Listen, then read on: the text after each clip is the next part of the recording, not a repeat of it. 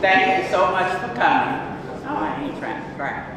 Uh, and then I want to thank God for His grace and His mercy. Not 80 quite yet, 79 and 355 days.